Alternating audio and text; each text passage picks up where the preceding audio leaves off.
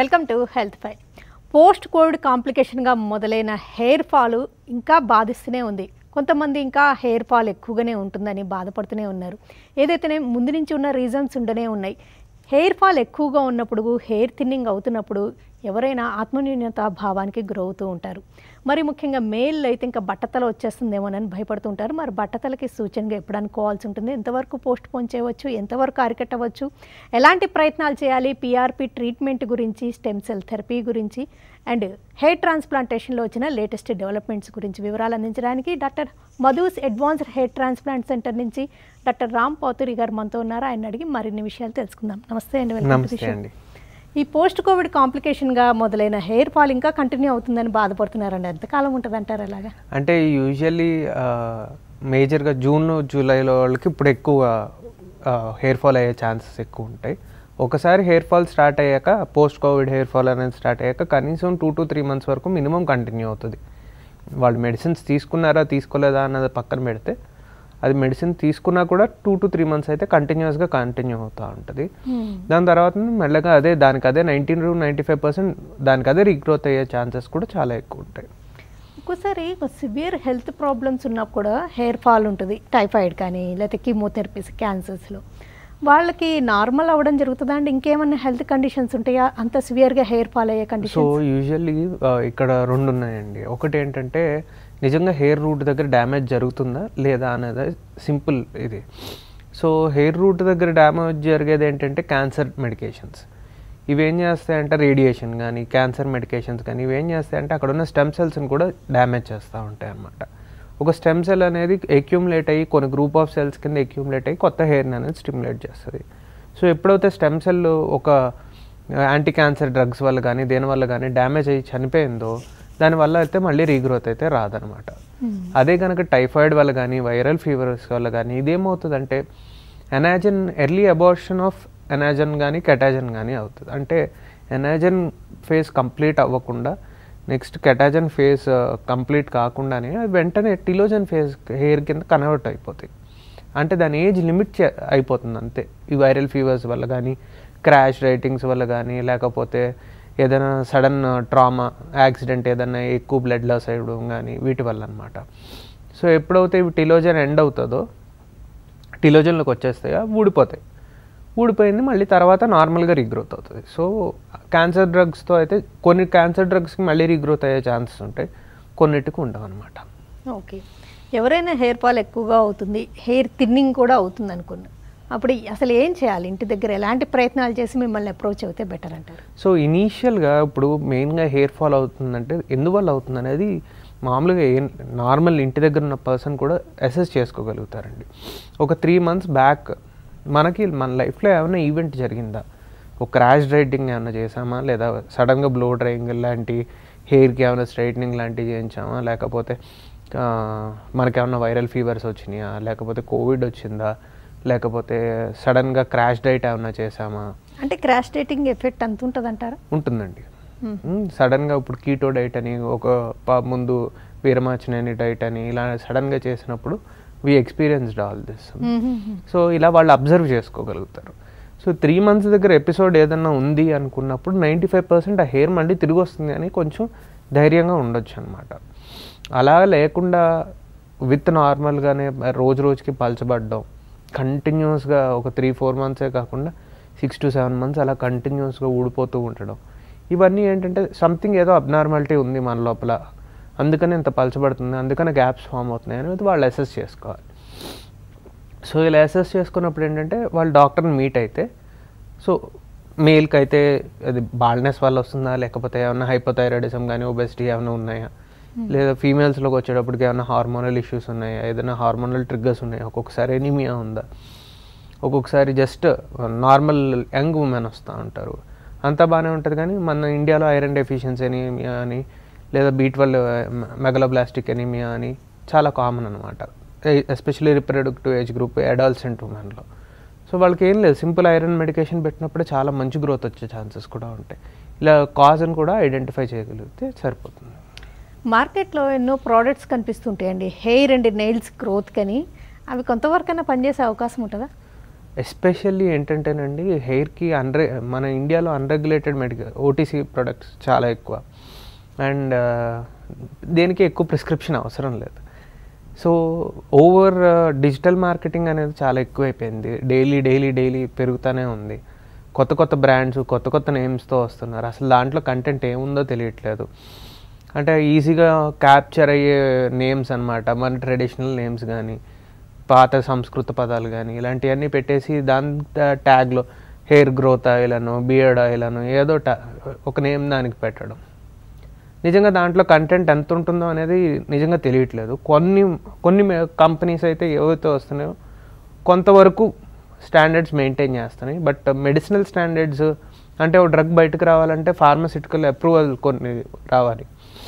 అవన్నీ మెయింటైన్ చేస్తున్నాయి అనేది మనకు క్లారిటీ లేదనమాట. సో మెడికల్గా ఒక్కొక్క మెడి ఇప్పుడు ఒక స్టాండర్డ్ మెడికల్ ల్యాబొరేటరీస్లో నుంచి వచ్చిన డ్రగ్స్ చాలా వరకు మనకి ప్రామాణికం. ఒక కాల్ చేద్దామండి వంశీ గారు? హలో. నమస్తే వంశీ గారు చెప్పండి. నమస్తే అండి. చెప్పండి. నమస్తే వంశీ గారు చెప్పండి.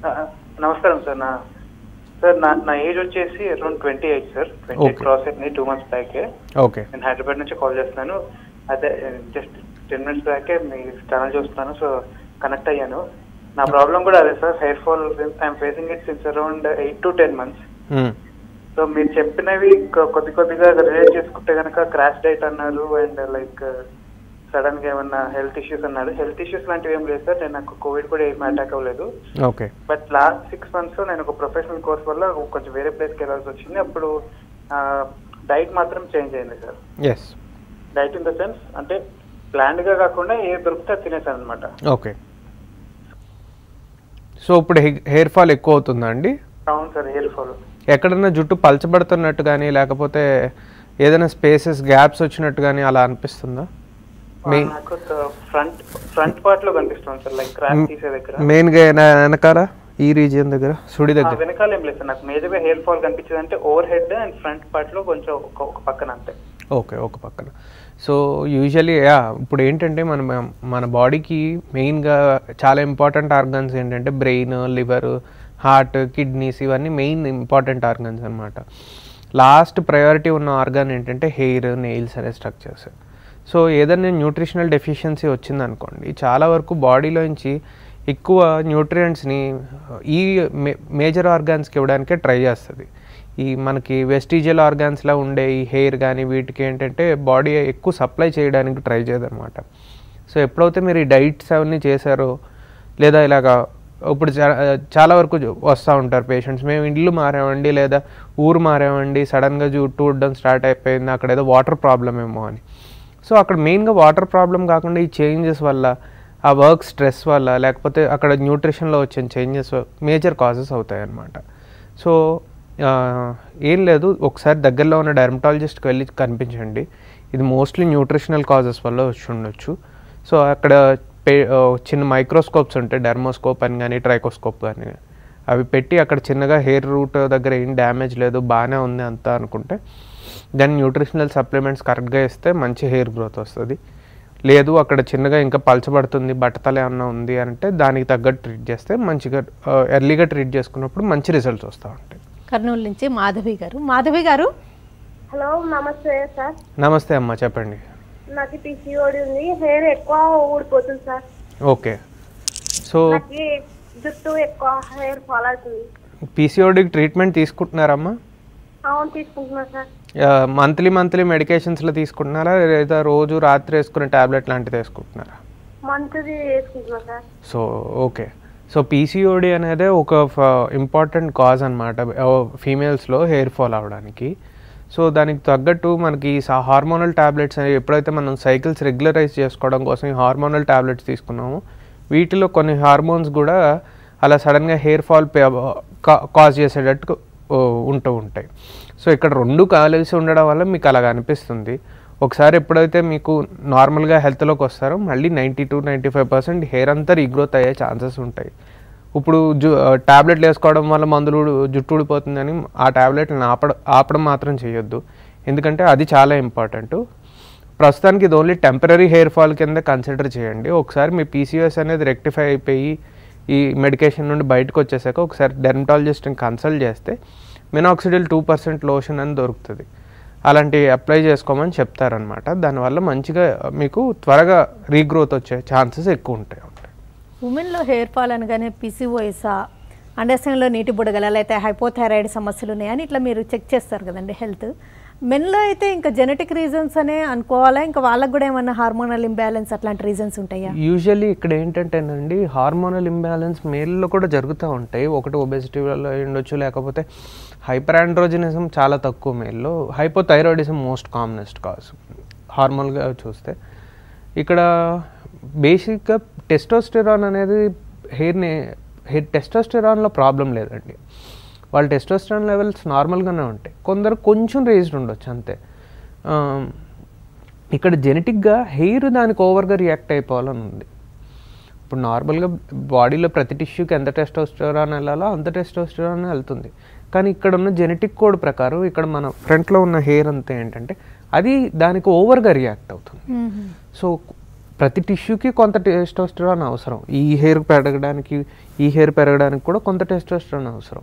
ఇదేం చేస్తుందంటే పెరగడానికి వచ్చే టెస్టోస్టెరాన్ని నన్ను డ్యామేజ్ చేస్తున్నది వస్తుందని ఇదే డ్యామేజ్ అయిపోయి అలా తయారవుతూ ఉంటుంది అనమాట అందుకని మీరు ఒకసారి ఒక మెడిసిన్ పెడుతూ ఉంటారు. అంటే అది హార్మోన్ తగ్గించే మెడిసిన్ ఇది ఫినస్టైడ్ అనేది కొంచెం ఇక్కడ ఏంటంటే టెస్టోస్ట్రాన్ డీహైడ్రాక్సీ టెస్టోస్ట్రాన్ అని దీనికి టెన్ టైమ్స్ యాక్టివ్ ఫామ్ కింద కన్వర్ట్ అవుతుంది ప్రతి టిష్యూలోను దాన్ని ఒక ఎంజైమ్ కన్వర్ట్ చేస్తూ ఉంటుంది అనమాట ఈ ఫినస్టైడ్ అనేది ఏం చేస్తుంది అంటే సిక్స్ అవర్స్ ఆ ఎంజైమ్ పడుకోబెడుతుంది.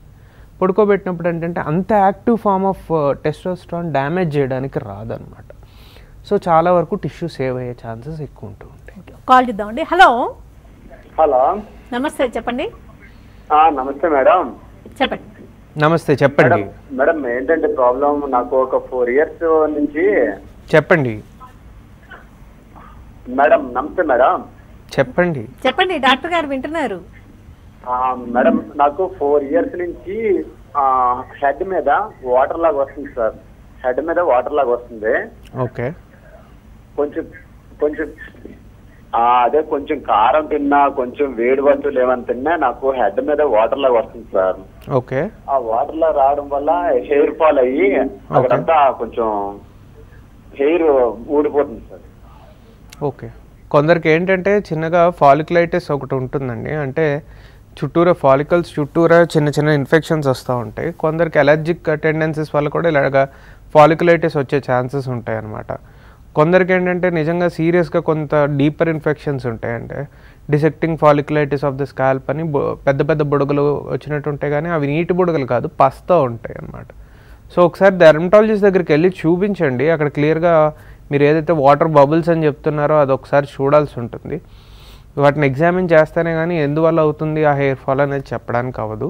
ఒక్కొక్కసారి స్కా స్కిన్ బయాప్సీ అని చిన్నగా చర్మాన్ని తీసి టెస్టింగ్ పంపిస్తారనమాట అది పంపించినప్పుడు కూడా మనకి ఎందువల్ల అవుతుంది? దానికి మెడికే దానికి తగ్గట్టు మెడికేషన్ ఇస్తే మీ హెయిర్ త్వరగా సేవ్ అవుతుంది. తలలో ఎక్సెసివ్ స్వెట్టింగ్ వల్ల కూడా హెయిర్ ఫాల్ అవుతుంది అంటారా యూజువల్లీ ఉండదండి. ఇది ఏంటంటే అనుకుంటూ ఉంటారు. నేను జిమ్కి వెళ్తున్నానండి రోజు స్వెట్ ఎక్కువ అవుతుంది దానివల్ల హెయిర్ ఫాల్ అవుతుంది అని. అదేం అసలు కాజ్ కాదు. ఎందుకంటే స్వెట్ గ్లాండ్ డిఫరెంట్గా ఉంటుంది. మనకి హెయిర్ అనేది డిఫరెంట్ స్ట్రక్చర్. రెండింటికి అసలు రిలేషన్ లేదు. దీని మెకానిజం వేరు దాని మెకానిజం అంటే ఆ హీట్ వల్ల అంటే వేడి ఎక్- ఎక్కడం అనేది హెయిర్ షాఫ్ట్ని దెబ్బతీస్తుందని అనుకుంటారు హెల్మెట్ పెట్టుకున్న వాళ్ళు. వాళ్ళు సో హెల్మెట్ పెట్టుకోవడం వల్ల హెయిర్ ఫాల్ అవుతుంది అనుకునేది చాలా మంది ఉంటూ ఉంటారు. చాలా పేషెంట్స్ అడుగుతూ ఉంటారు హెల్మెట్ పెట్టుకుంటున్నా అప్పటి నుండే నాకు హెయిర్ ఫాల్ ఎక్కువ అవుతుంది. ఆ హెల్మెట్ పెట్టుకోకుండా బండి నడిపినప్పుడు ఏంటంటే హెయిర్ అనేది నార్మల్గా గాలికి ఎగిరిపోతుందండి. ఓన్లీ థింగ్ వీళ్ళు హెల్మెట్ పెట్టుకుని ఉండేటప్పుడు ఏంటంటే అదంతా ఒక చోటకి చేరేటప్పటికి హెల్మెట్ వల్ల నాకు హెయిర్ ఫాల్ అవుతుంది అనుకుంటున్నారు. అంతే తప్పించి నార్మల్గా ఊడే టీలోజన్ హెయిర్ కానీ లేదా ఎనీ ప్రాబ్లం వల్ల ఊడుతున్న హెయిర్ ఊడుతూ ఉంటుంది. ఓన్లీ థింగ్ అది కాన్సన్ట్రేటెడ్గా ఒక చేతిలో ప్లే- చూసినప్పుడు దీనివల్లే అవుతుంది అని అనుకుంటూ ఉంటారు. కాల్ చేద్దామండి హలో. హలో. నమస్తే అండి చెప్పండి. నమస్తే అండి. చెప్పండి మీకు వస్తున్న అడగండి. నమస్తే చెప్పండి అమ్మా ఆ, నమస్తే సార్. నాకు హెయిర్ ఎక్కువ ఊడిపోతుంది సార్. మీ వయసు ఎంతమ్మా? వయసు forty years sir. Okay health problems ఏమైనా ఉన్నాయా? పీసీఓడి ప్రాబ్లం ఉంది సార్. పీసీఓడి ప్రాబ్లం ఉందా? మెడిసిన్స్ ఏమన్నా వాడుతున్నారా? హలో? సార్ మెడిసిన్స్ వాడుతున్నా సార్.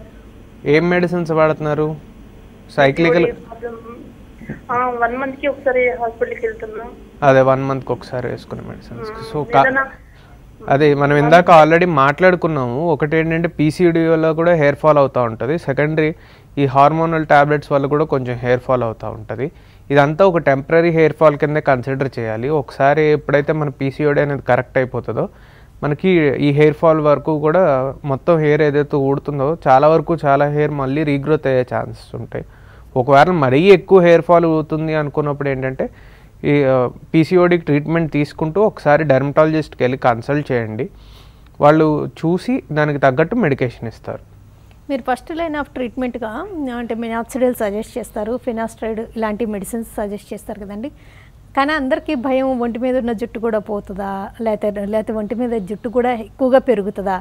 ఆ ట్యాబ్లెట్స్ వల్ల ఏమన్నా సైడ్ ఎఫెక్ట్స్ ఉంటాయా? మేల్కి ఏమన్నా ఫ్యామిలీ ప్రాబ్లమ్స్ వస్తాయని అని అట్లాంటి భయాలు ఉంటాయి. ఏమన్నా జరిగే రిస్క్ ఉంటుందా?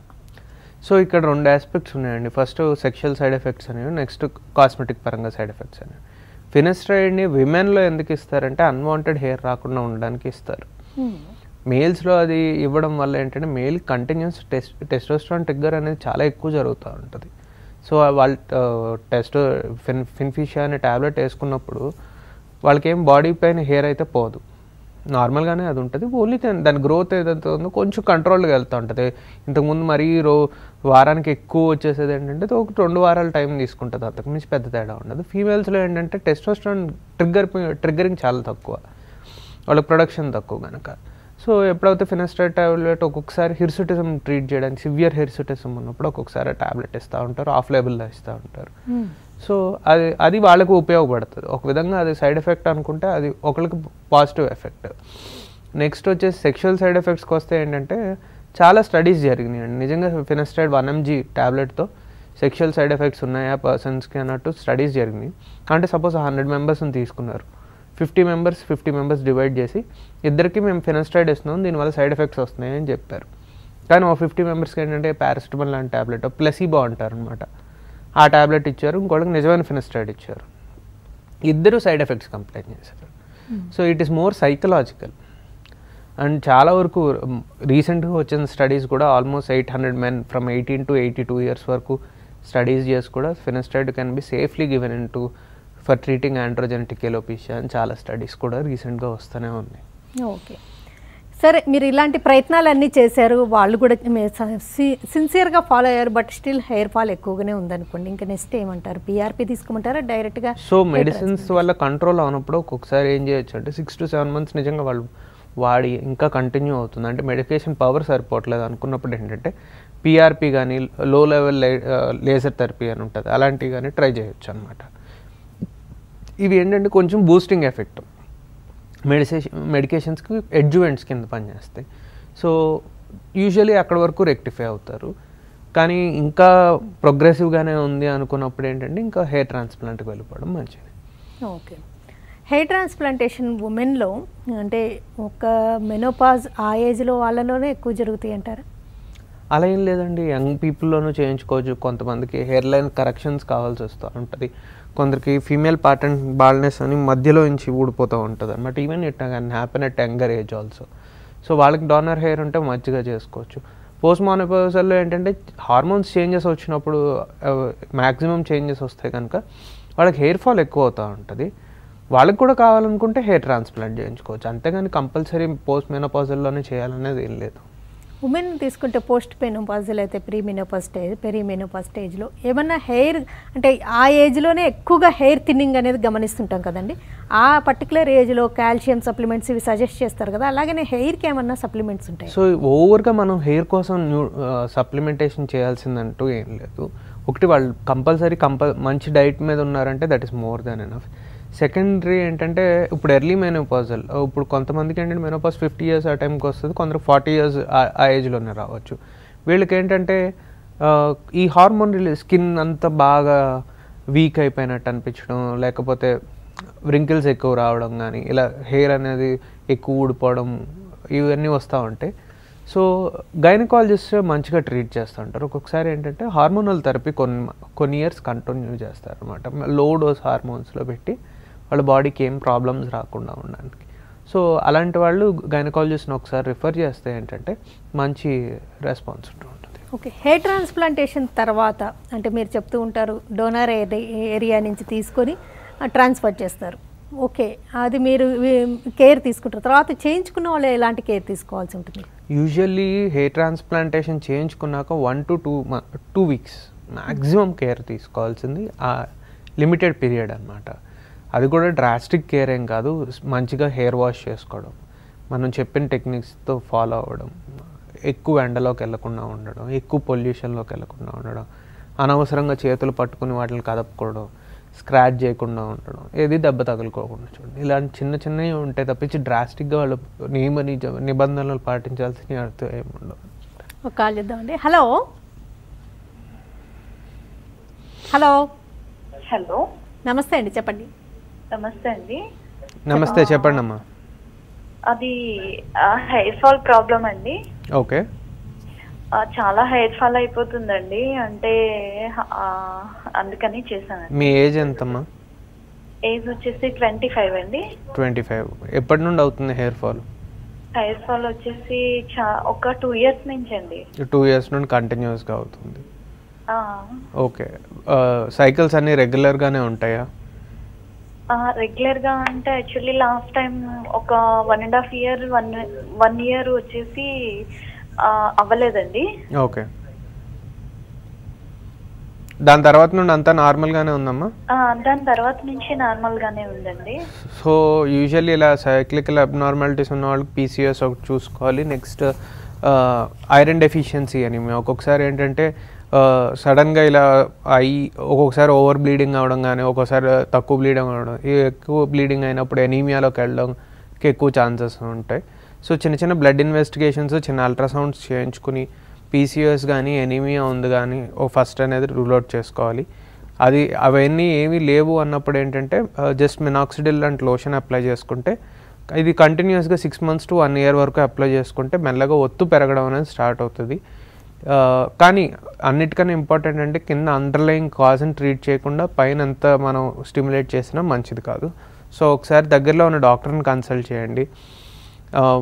అసలు ఏంటి కాజ్ అనేది నిజంగా ఫైండ్ అవుట్ చేసుకున్నప్పుడు మీకు మంచి రీగ్రోత్ ఇచ్చే ఛాన్సెస్ చాలా బాగా కనిపిస్తాయి. ఎప్పుడైనా హెయిర్ ట్రాన్స్ప్లాంటేషన్ చేయించుకోవాలని ఒక వ్యక్తి చాలా ఇంట్రెస్టెడ్గా మీ దగ్గరకు వస్తే లేదు కొంతకాలం ఆగిరండి అని పంపించే సందర్భాలు ఉంటాయా? ఉంటాయండి. చాలా వరకు ఏంటంటే ఎర్లీగా వస్తారు. లేదా ట్వంటీ సిక్స్ ట్వంటీ సెవెన్ దగ్గర వచ్చేవాళ్ళు కూడా ఉంటారు. కానీ వాళ్ళకి ఎగ్జిస్టింగ్ హెయిర్ ఎక్కువ ఉంటుంది. వీళ్ళకి ఏంటంటే అపో చాలా వరకు జనాల్లో అపోహ ఏంటంటే హెయిర్ ట్రాన్స్ప్లాంటేషన్ చేయించేసుకుంటే ఇంక మళ్ళీ బట్టతలు రాదు. లేదా మనం మందులు వాడక్కర్లేదు. ఇలా అపోహతో ఉంటారు అనమాట వీళ్ళకి ఏంటంటే ఎగ్జిస్టింగ్ హెయిర్ బాగానే ఉండి కొంచెం హెయిర్ హెయిర్ డ్యామేజ్ అయిన చేంజెస్ ఉన్న వాళ్ళని చాలా వరకు ప్రొలాంగ్ చేసుకోమని చెప్తాం. మెడిసి మెడిసిన్స్ మెడిసిన్స్ వాడగాలి మీరు వాడితేనే మంచిది అని చెప్తాం. అన్లెస్ అక్కడ నిజంగా బాల్ ప్యాచ్ వచ్చేసి ఇంకా మెడిసిన్స్తో వాళ్ళకి ఏం ఇంప్రూవ్మెంట్ ఉండదు. ఇంకా హెయిర్ డానర్ ఏరియా బాగుంది.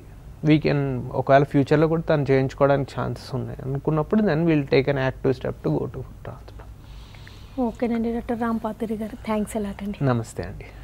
హెయిర్ ఫాల్ చాలా ఎక్కువగా ఉన్నప్పుడు రీసెంట్ టైమ్స్లో ఏమన్నా వైరల్ ఫీవర్స్కి గురయ్యారా? ఏమన్నా ఇల్నెస్కి గురయ్యారా? కొత్త మెడిసిన్స్ ఏమన్నా వాడుతున్నారా?